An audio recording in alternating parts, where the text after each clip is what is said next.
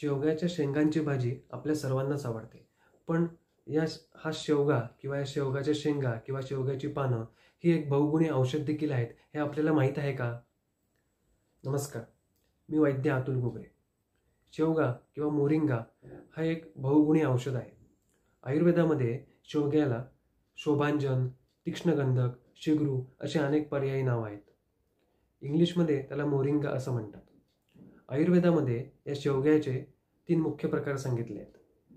श्वेत कृष्ण म्हणजे श्याम आणि रक्तवर्णी. यातील श्वेत म्हणजे पांढरे ज्याला पांढरी फुलं येतात हा शेवगा सर्वत्र आढळतो. हा शेवगा हा इतका उपयोगी का हे आज आपण समजून घेऊयात. शेवग्याचा रस हा मधुर तिखट आणि तुरट अशा प्रकारचा वर्णलेला आहे. तर विपाक हा कटू म्हणजे थोडासा तिखट आहे. आणि वीर्य हे उष्ण आहे. तर गुण हे लघु वृक्ष आणि तीक्ष्ण अशा गुणाचे आहेत. आता याच्यावरून आपल्याला एक लक्षात आलं की शेवगा हा उष्ण तीक्ष्ण लघु गुणाचा कप कमी करणारा थोडंसं पित्त वाढवणारा असा देखील आहे. म्हणजे याच्यावरनं आपल्याला अंदाज आला की शेवगा हा कशा कशासाठी उपयोगी ठरू शकतो? वरवर अंदाज तर आपल्याला आला. पण इन डिटेल आणि सविस्तर आपण आता माहिती करून घेऊयात. शेवग्याचे मुळाची त्वचा तसेच शेवगाचे बीज शेवग्याची पानं ही औषधामध्ये भरपूर वेळा वापरली जातात. ती कशी ते समजून घेऊयात. विशिष्ट शेवग्याच्या पानाचा औषधामध्ये कशा पद्धतीने वापर केला जातो आणि आपण आहारात देखील त्याचा कशा पद्धतीने वापर करू शकतो हे समजून घेऊयात. शेवग्याच्या पानांचा बाह्य आणि अभ्यंतर अशा दोन्ही पद्धतीने वापर केला जातो. तर सुरुवातीला बाह्य उपयोग काय असतो ते समजून घ्या शेवग्याची पानं ही शोथर आहेत. म्हणजे ज्यांना सतत सूज येत आहे किंवा काही मार लागल्यामुळे मुकामार लागल्यामुळे सूज आहे तर अशा वेळेस शेवग्याच्या पानाचा लेप केला गेला तर ती सूज लवकर उतरते.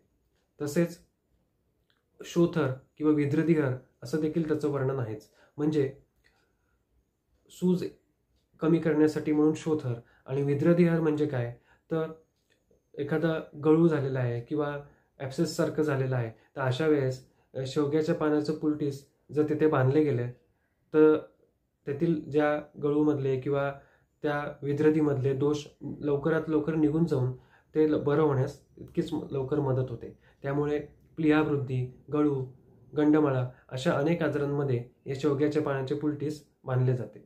तसेच जर केसामध्ये जुनाट कोंडा असेल तर शेवग्याच्या पानाचा रस थोडंसं खोबरेल तेल आणि कापूर हे एकत्र करून त्याचा केसावर हलक्या हाताने जर मॉलिश केली आणि नंतर ते एक दोन तासाने धुवून टाकले गेले तर जुनाट कोंडा देखील निघून जायला मदत होते.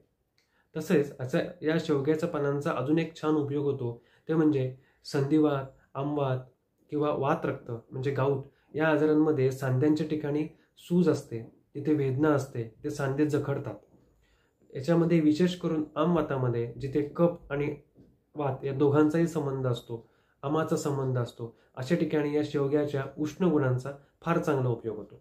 शेवग्याच्या पानाचा पत्रपुटली स्वेत इतर अनेक पानाबरोबर म्हणजे निर्गुंडीचा पाला असेल किंवा अर्कपत्र असेल किंवा शेवग्याची पानं असतील याचा एकत्रित पद्धतीने वापर करून पत्रपोटलीस स्वेद दिला गेला तर सांध्याच्या ठिकाणची वेदना आणि सूज त्वरित कमी होऊन रुग्णाला खूप चांगला आराम भेटतो. आता हे झाले याचे बाह्य उपयोग. आता अभ्यंतर उपयोग काय आहेत? म्हणजे पोटात घेण्यासाठी याचे काय काय उपयोग आहेत? तर शेवग्याचं पानं ही ज जंतुक नाहीत म्हणजे कृमिग्न आहेत म्हणजे ज्यांना जंत होत आहेत अशा लोकांनी शेवग्याच्या पानाची भाजी जर आहारात ठेवली तर त्यांच्या जंत निघून जाण्यासाठी किंवा जंत मरण्यासाठी याचा फार चांगला उपयोग होतो. तसंच शेवग्याची पानं हे व्हिटॅमिन बीचं व्हिटॅमिन बी ट्वेल्वचे खूप चांगला सोर्स आहे. त्यामुळे ज्यांना व्हिटॅमिन बी ट्वेल्व कमी असल्यामुळे जे जे आजार होत आहेत जसं की मेगॅलोब्लॅस्टिक ॲनेमिया असेल सतत अल्सर होणं तोंडाचे इथे अल्स अल्सर होणं म्हणजे तोंड येणं पोटात अल्सर होणं अशी जी काही लक्षणं जाणवत असतील तर अशा लोकांनी शेवग्याच्या पानाची भाजी आहारात ठेवली तर त्यांना नक्कीच फायदा होतो. तसेच ही शेवग्याची पानं ही ज्यांचं रक्त कमी आहे म्हणजे ज्यांच्यामध्ये रक्तक्षय आहे तर लोह म्हणजे आयनचा देखील एक खूप चांगला सोर्स आहे. त्यामुळे ॲनिमिया म्हणजे पांडुरोग तसेच केसाच्या आणि हाडाच्या आरोग्यासाठी देखील ही शेवग्याच्या पानाची भाजी खूप चांगला उपयोग करते. त्याच पद्धतीने ज्यांना त्वचेचं आरोग्य चांगलं राखायचं आहे म्हणजे शेवग्याची पानं ही vitamin A vitamin C vitamin E याचा देखील खूप चांगला सोर्स आहे त्यामुळे ज्यांना त्वचेचं आरोग्य चांगलं राखायचं राखायचं आहे त्यांना हे मायक्रोन्युट्रियंट्स विटॅमिन्स याची देखील आवश्यकता आहे. अशा लोकांनी देखील शेवग्याच्या पानांचा आहारामध्ये वापर करणं आवश्यक आहे. तसेच विटॅमिन एचा रिस सोर्स असल्यामुळे नेत्राच्या म्हणजे डोळ्याच्या आरोग्यासाठी देखील हा शेवगा तितकाच चांगला आहे. आयुर्वेदामध्ये याला चक्षुष्य म्हणजे डोळ्यासाठी चांगला असं देखील म्हटलेलं आहे. सुरुवातीला आपण जशी चर्चा केली की शेवगा हा उष्ण तीक्ष्ण लघु गुणाचा असा आहे. म्हणजे तो कपाच्या विरुद्ध काम करणार आहे. त्यामुळे मधुमेह म्हणजे डायबिटीस तसेच फॅटी लिव्हर हृदयरोगामधील वाढलेले कोलेस्ट्रॉल हे म्हणजे काय? हे वाढलेला विकृत कप या विकृत कपाला कमी करण्यासाठी विकृत कपाचा क्षय करण्यासाठी शेवगा शेवग्याची भाजी शेवग्याची शेंगांची भाजी पानाची भाजी ही खूप चांगला उपयोग करते. आणि या शेवग्याचा औषधाच्या दृष्टीने आणि आहाराच्या दृष्टीने योग्य पद्धतीने वापर केला तर नक्कीच मधुमेह फॅटी लिव्हर या सर्व आजारांवर याचा खूप चांगला उपयोग होतो. तसेच विटॅमिन आणि मायक्रोन्युट्रियंटचा रिच सोर्स असल्यामुळे शेवगा हा अँटीऑक्सिडंट म्हणून देखील काम करतो. म्हणजे आपल्या शरीरामधील रोगप्रतिकारक शक्ती वाढवण्यासाठी देखील हा तितकाच उपयोगी आहे. आता या शेवग्याचे इतके सर्व उपयोग आहेत तर याचा वापर आपण आहारामध्ये कशा पद्धतीने करायला पाहिजे? तर शेवग्याचा शेंगा तर आपण खातोच पण पानाचा वापर करायचा झाला तर शेवग्याच्या कोरड्या पानाची भाजी अधिक प्रमाणात आहारामध्ये ठेवणं खास करून ज्यांना आमवात आहे अशा लोकांना आम्ही आवर्जून सांगतो की शेवग्याच्या पानाची भाजी आठवड्यातून एकदा तरी आहारामध्ये ठेवा. म्हणजे आयुर्वेदाच्या दृष्टीने पत्रपुटली वेदासाठी तर त्याचा उपयोग होतच आहे पण आहारामध्ये देखील शेवग्याचा वापर ठेवला तर त्यांना जास्त आराम भेटतो. तसेच शेवग्याच्या पानाचे सूप कर करू शकतो आपण. त्याच्या वड्या करू शकतो. किंवा त्याची पावडर बनवून म्हणजे ताजी शेवग्याची पानं आणून त्याची ती वाळवून त्याच्यानंतर त्याची पावडर करून ती फाईन पावडर आपण जर एका बरणीत भरून ठेवली आणि रोजच्या आहारामध्ये अर्धा एक चमचा आपण जर त्याचं सेवन करत राहिलं तर आपल्याला त्याचे गुण सतत भेटत राहतात आणि आपल्याला त्याचा जास्तीत जास्त उपयोग करून घेता येतो. आता हे शेवग्याचे एवढे सगळे गुण आहेत मग कोणी बरं वापरायचं नाही हे देखील बघायला पाहिजे.